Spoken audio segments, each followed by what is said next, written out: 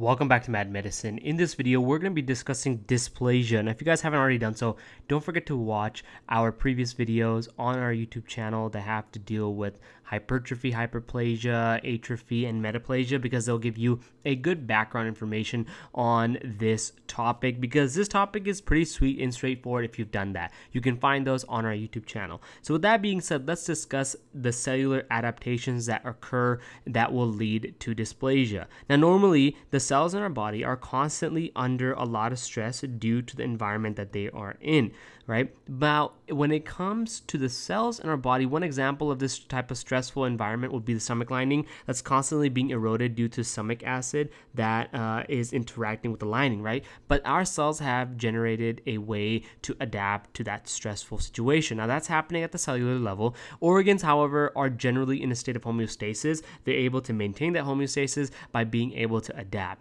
Now, after a while, after the stress exceeds their limit, they're going to have to change in order to maintain their normal functioning and stay in a relative state of homeostasis when it comes to the function of the organ. And this change of the organ is based off of the type and severity of the stress that's placed upon the organ. An increase in the stress after a certain point will eventually lead to the growth of an organ because that's the only way an organ is going to be able to maintain its proper functioning uh, situation, proper functioning criteria during a stressful period. There are two main types of organ, uh, sorry, two main types of growth adaptations, and those are hypertrophy and hyperplasia. And in both of these types, essentially the growth of an organ is occurring. Now, we said earlier that organs are generally in a state of homeostasis. How can they be in a state of homeostasis if they are growing, if the organ grows, right? It has to go back down to its normal size, and that is what atrophy does. Atrophy allows for homeostasis of an organ. It allows for the organ to reduce its size and number number of cells that are in the organ. Now, that happens if the stress goes away, right? If the stress is gone, atrophy will occur and the organ will go back to its normal state and it will maintain homeostasis. What happens if the stress is not gone? Well, if there's too much stress or if the stress is not removed, that organ can change the type of cells it has to better uh, uh, be able to adapt to the stressful environment, to better manage the stress. And that is a type of cellular adaptation called metaplasia.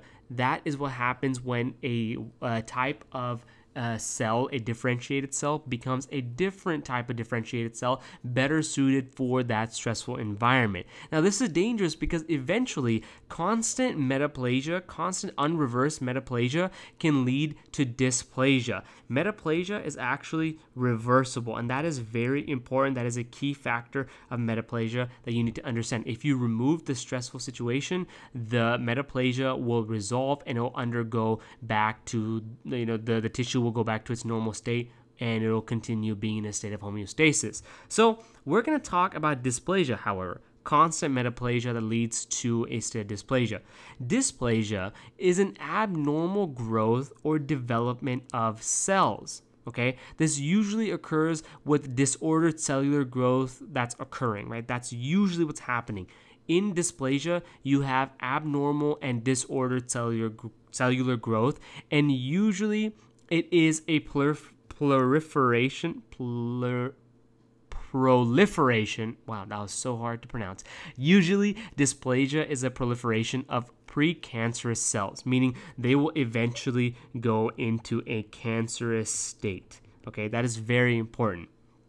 Usually, dysplasia arises from long standing hyperplasia or metaplasia. Why does that happen? Well, remember, hyperplasia and metaplasia both actually are playing, uh, are both are actually affecting the body at the stem cell level, right? At the stem cell level, you're inducing changes that's going to allow for either an increase in the number of cells in the, in the case of hyperplasia or a change in the type of cell in the case of metaplasia.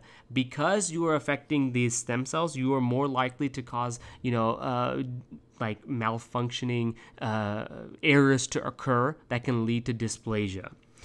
it is removable. Dysplasia is still removable, similar to metaplasia, okay, especially if the stress is removed. So, an example of dysplasia would be Barrett's esophagus. Barrett's esophagus can, reg- can regress to the normal esophageal lining if you remove it, but if you don't remove the stress, it can progress to carcinoma, especially dysplasia. So, again, the carcinoma is the irreversible state. So, this is still in your reversible state when it comes to pathology. Once this progresses from dysplasia to a neoplasia or a cancer,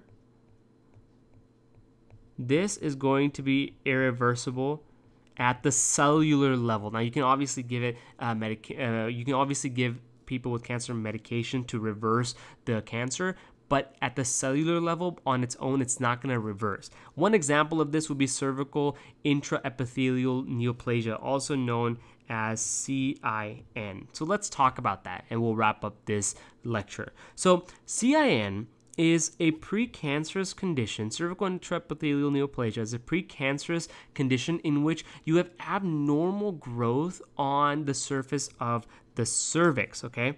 You have abnormal uh, uh, surface growth of the cells. Now, you can classify this as CIN 1, 2, and 3. Usually, CIN 1 is going to be the low grade neoplasia, okay? In this case, you have dysplasia that involves around one third of the thickness of the cervical epithelium, okay? Just one third. In CIN2, you have more abnormal changes that are occurring about one third to two thirds of the epithelial layer. It's going a little bit deeper into the epithelium, right? You're having some precancerous lesions. And then CIN3 is going to be severe dysplasia, okay? It, is, it describes a condition that affects more than two thirds. So, more than two thirds, you have CIN3. And that is what's depicted right here. You see, this is your normal uh, epithelial lining of the cervix.